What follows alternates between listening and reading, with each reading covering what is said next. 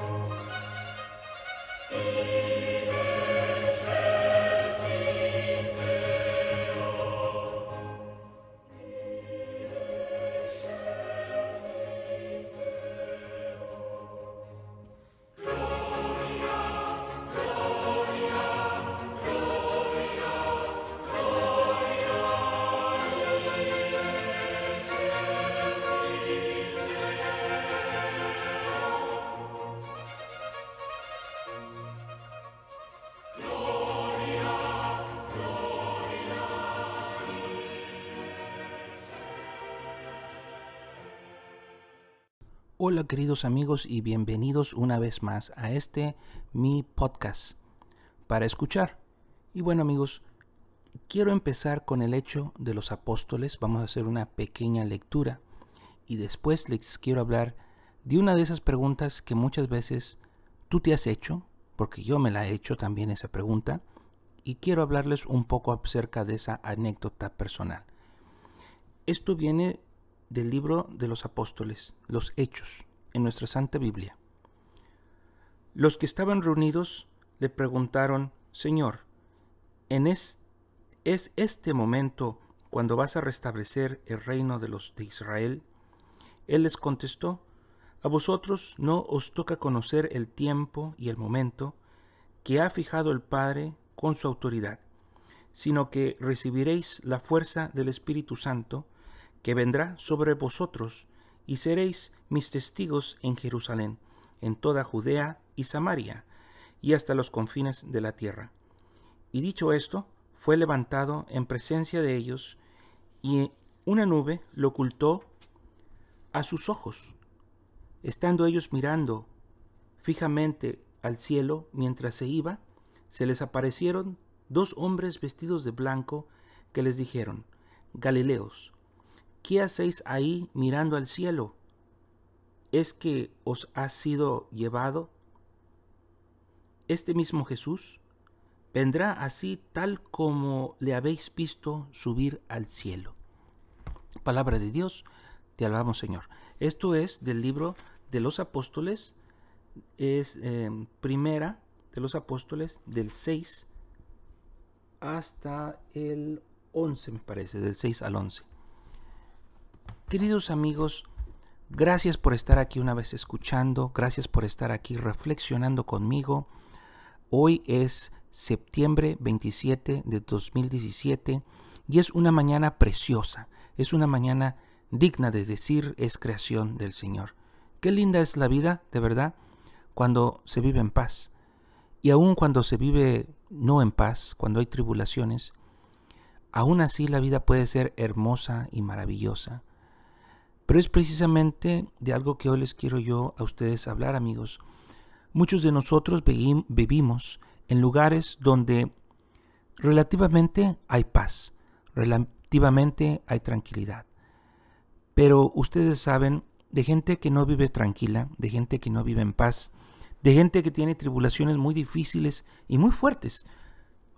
Muchas veces que si nos pasaran a nosotros nos sentiríamos que son intolerables sentiríamos que no podíamos cargar con esa carga que esa otra persona tiene, o incluso pudiéramos pensar que tal persona ha sido castigada debido a las situaciones que enfrentan. Mas, sin embargo, yo les digo, Dios es misericordioso y Dios es compasivo. No veamos las dificultades de la vida como castigos, sino como tribulaciones. Es decir, hay una diferencia muy grande entre decir castigo y tribulación.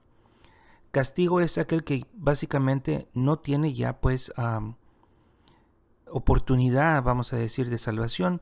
Perdónenme ustedes si hago un error teológico aquí al respecto, corríjanme aquellos que saben, pero la tribulación y el castigo son dos cosas muy distintas.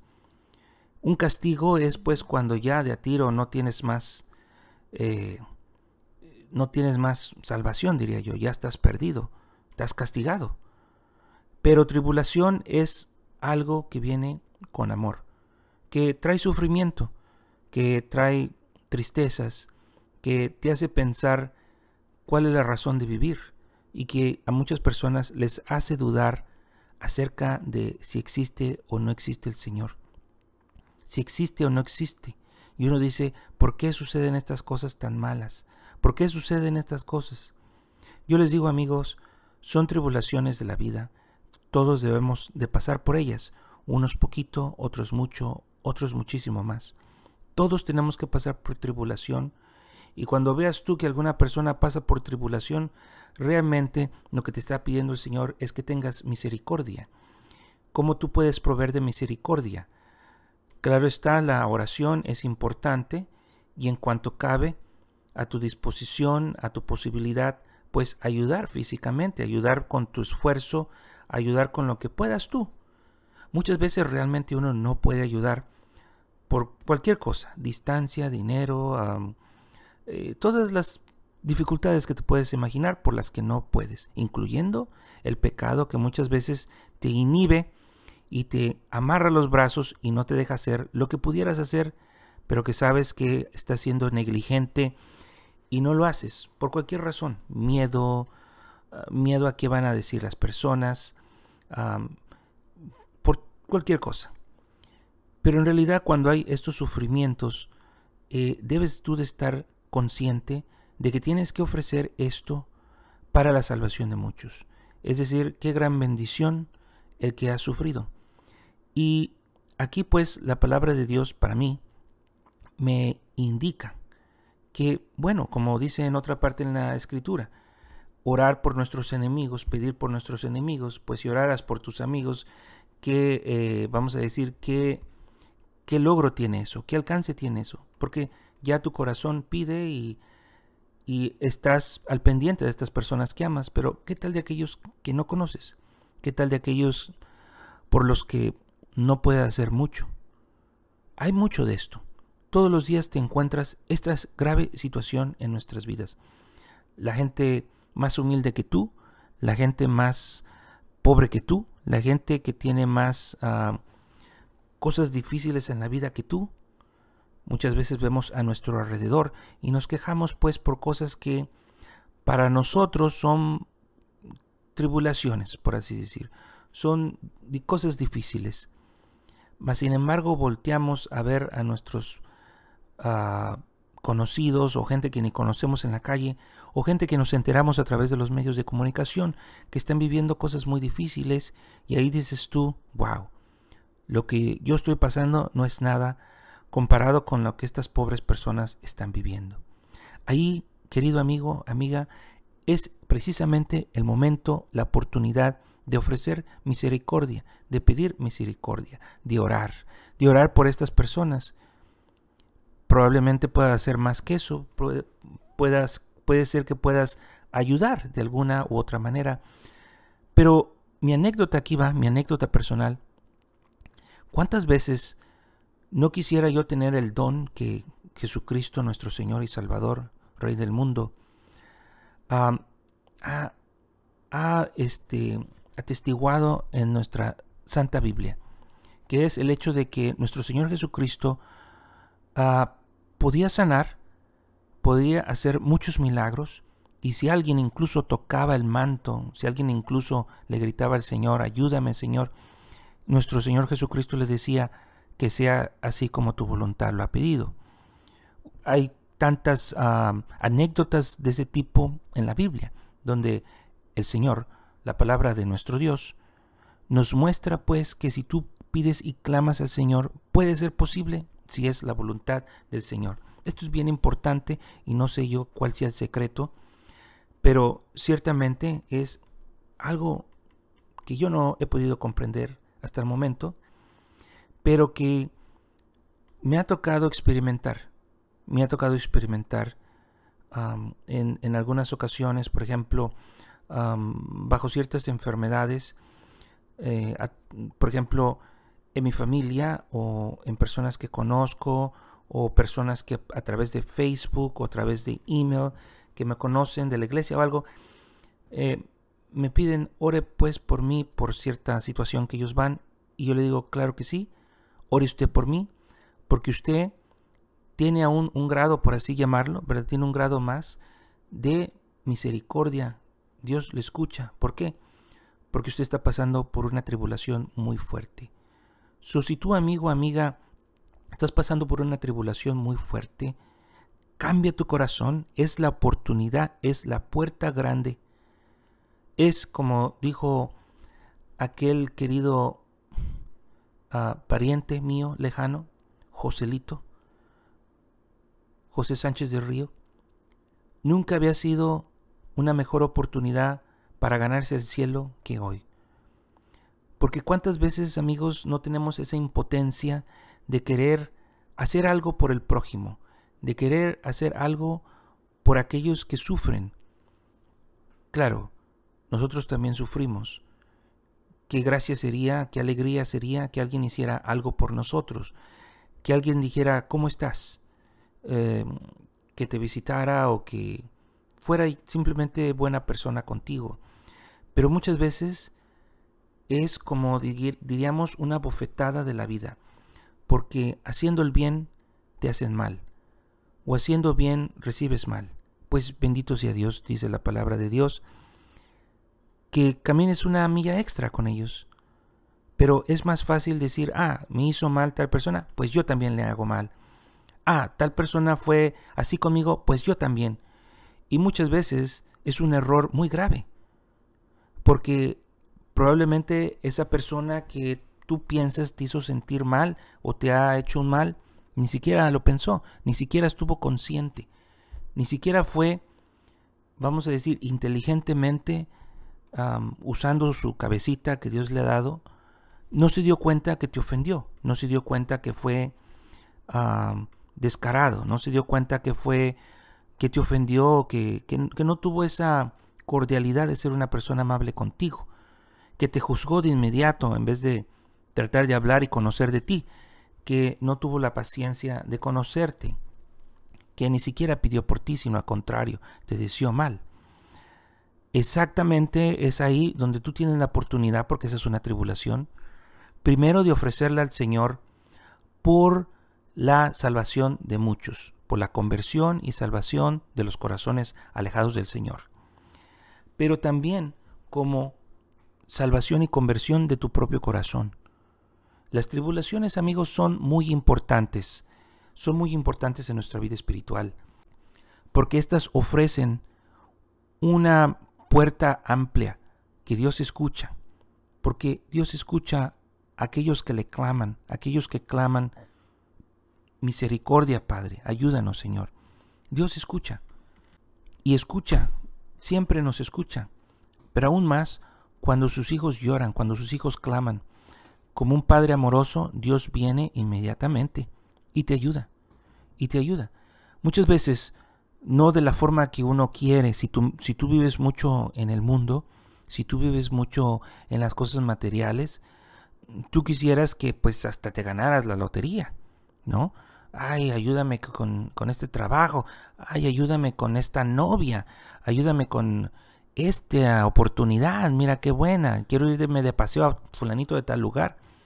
¿Cuántas personas conoces tú que, que así andan en la vida, en las cosas materiales? Pero está bien, está bien. Todos tendremos nuestro momento en el que tenemos que enfrentar la misericordia del Señor. Ojalá y sea mientras estemos bien, ojalá sea mientras tengamos salud y bienestar y demás, porque la gracia del Señor mueve nuestros corazones. Ora amigo, ora amigo por tus amigos, parientes, familiares, conocidos y hasta tus enemigos, para que Dios transforme sus corazones y estas gentes transformando sus corazones transformen sus pensamientos. Transformando sus pensamientos y transformando su corazón es un éxito. Aunque caigan en las trampas del pecado que es, abundan, la persona se va a levantar, la persona va a volver a tratar. Y yo te digo, amigo, aunque tú peques, aunque seas tú un pecador, ah, que pienses tú que no tienes salida ya, que estás podrido. No, no, no, no. No pienses así, querido amigo o amiga. Pienses así porque estás bajo esta tribulación. Pero yo te digo, Dios tiene misericordia y de ti va a ser lo mejor. De ti, de lo más malo que pueda haber en tu vida, Dios va a ser lo mejor.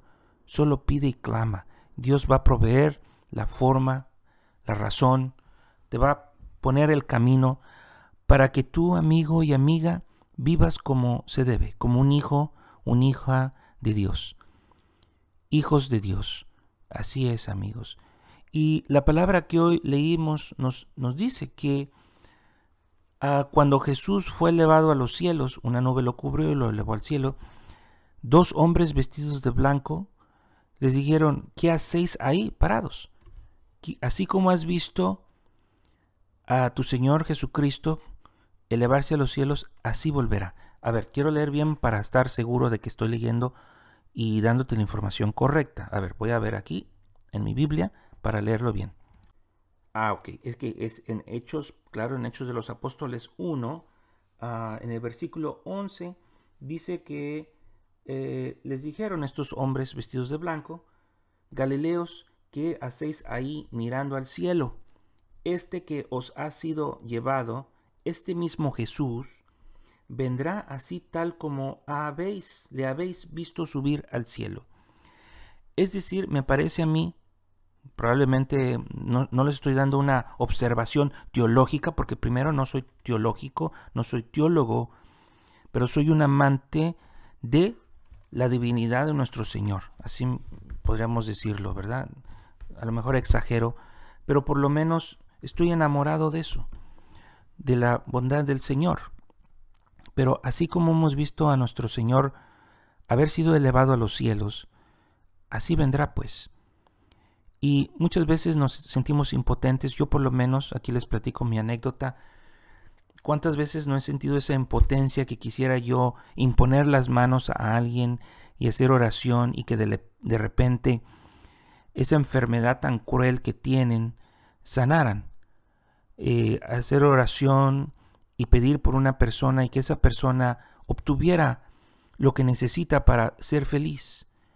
¿Cómo quisiera yo hacer algo así. El corazón se me hincha, el corazón eh, siente una emoción increíble, se llena de sangre, ah, brota esa necesidad y esa impotencia a la vez de querer solucionar un problema, de querer poder ayudar a esta persona.